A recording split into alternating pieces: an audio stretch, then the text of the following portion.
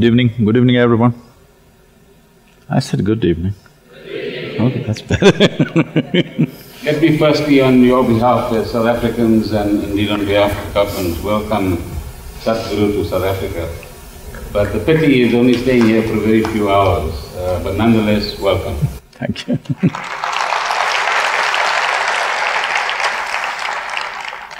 I've seen the people, next time you must show me the lines. We can show you more than the line. it's, a, it's a privilege to firstly be sitting next to an eminent and learned person such as Sadhguru. So thank you uh, to the Isha Foundation for their very kind invitation to be here this evening. Secondly, June, uh, Sadhguru is a very momentous month for South Africa.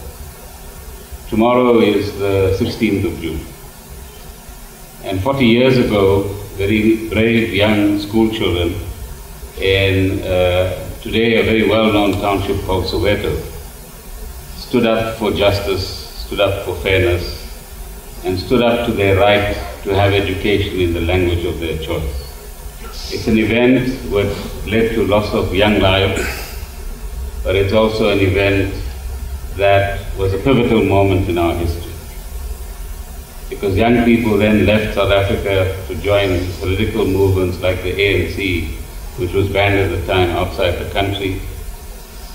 Young activists uh, ended up in Robben Island, uh, our famous prison, which I'm sure you've heard of. Yes. Mr. Mandela and others were in prison for many years and gave life to the struggle for democracy that Mr. Sukla was talking about uh, earlier on as well.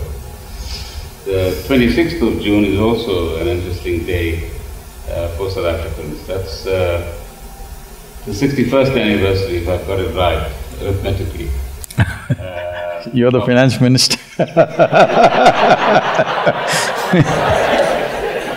Others do the calculation.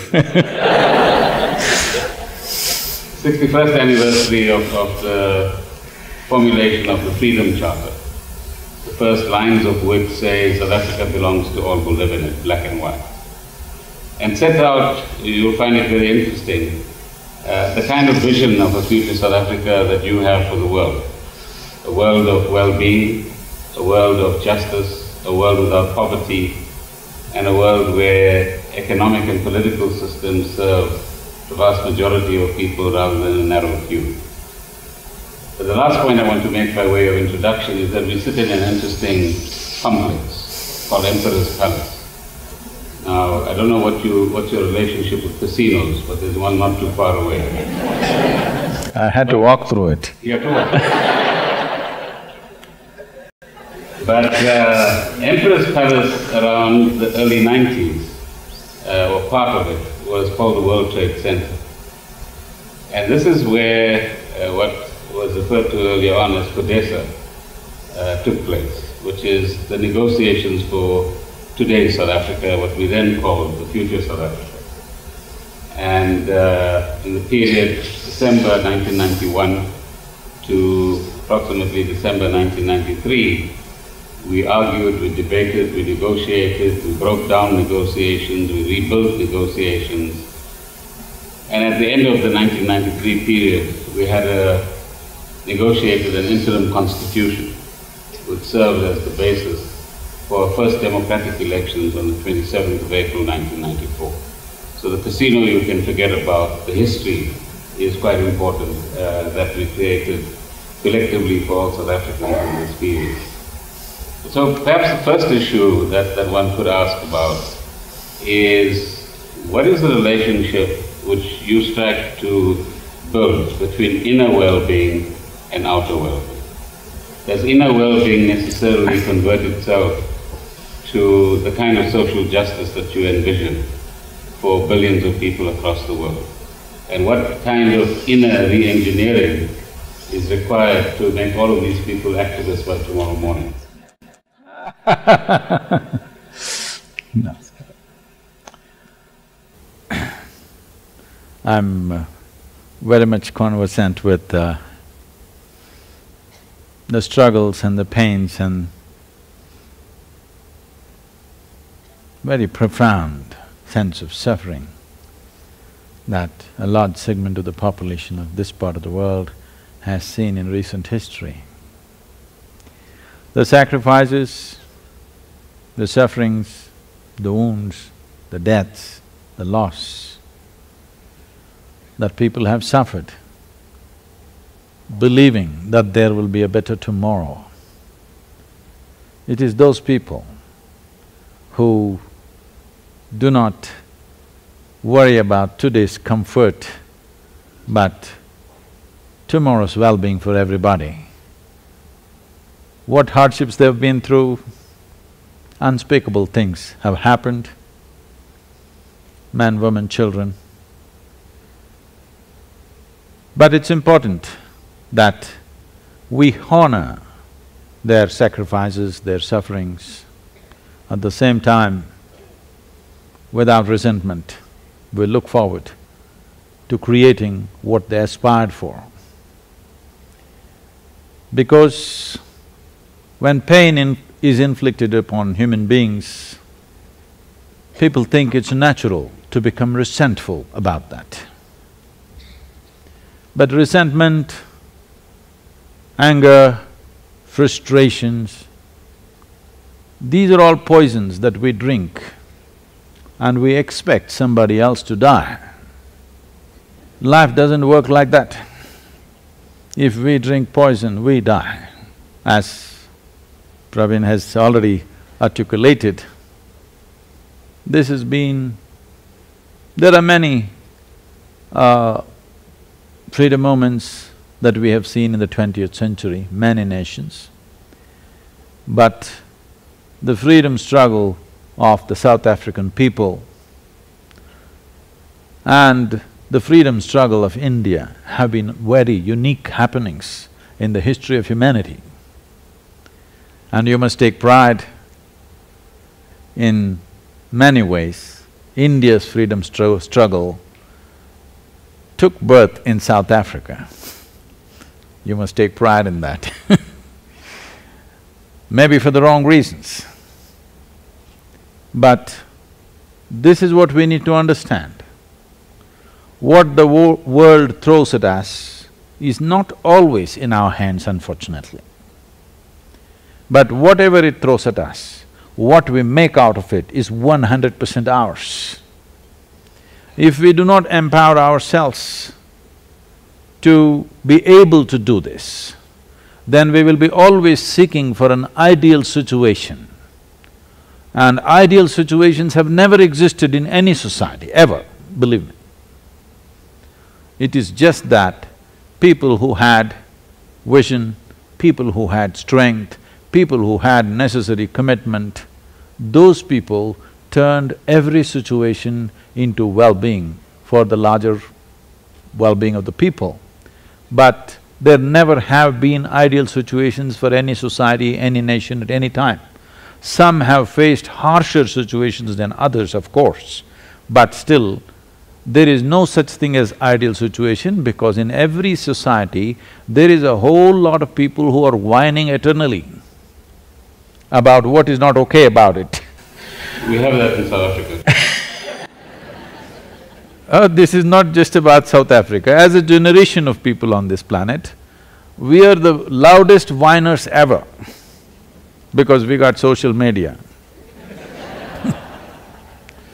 Every whine is heard around the world Yes. So, bringing in a well-being, how is it important? When external situations are harsh, then people will always ask this question because they will become skeptical, me being peaceful, me being well, how will it translate? We must understand this. Everything that we create is just a manifestation of who we are. If we do not strive to transform who we are, what we create will always be that that we will not want. We may go with short-term goals of wanting something, but it will not bring what we want because we have not made ourselves what we want, first of all. If I am not able to manage my mind, How do I manage a society? How do I manage a nation? How do I manage a world? If I am not able to create the kind of human being that I want within myself, how do I create a nation or a world the way I want it? So, inner well-being is not an esoteric discipline for somebody who's given up everything and sits in a Himalayan cave. Those of you who are thinking, oh, I will do yoga, I will do meditation, I will let me go to a Himalayan cave, let me inform you, all the caves are taken, there are no caves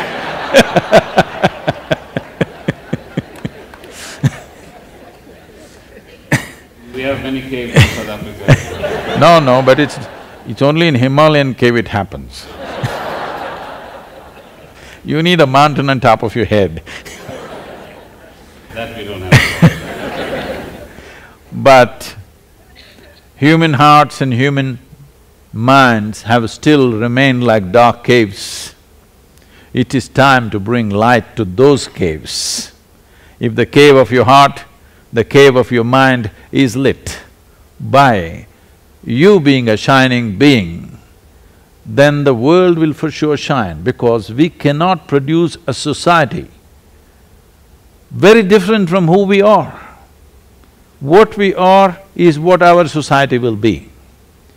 To be able to make inner well-being not an exclusive right of a few people, as external well-being, economic well-being, some time ago was the exclusive right of a few people for which many great men have fought, many great men have sacrificed, many great men probably were snuffed out before they could reach their greatness.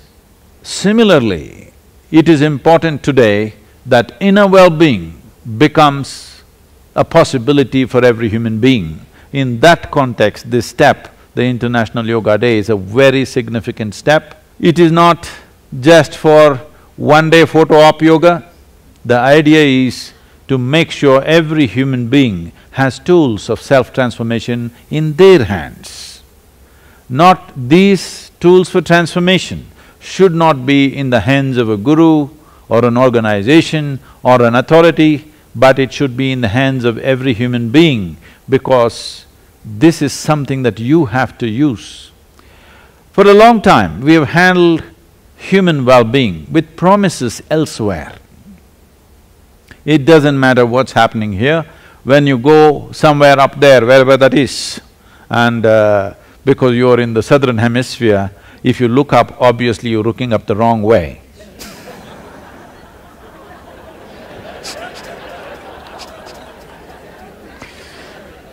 Nobody knows in this cosmos. In this cosmos, does anybody know which side is up, which side is down? Is it somewhere marked this side up? But with these promises, we have held people down, with these promises, we gave hope to people, with these promises, we have postponed people aspiring for what they want now.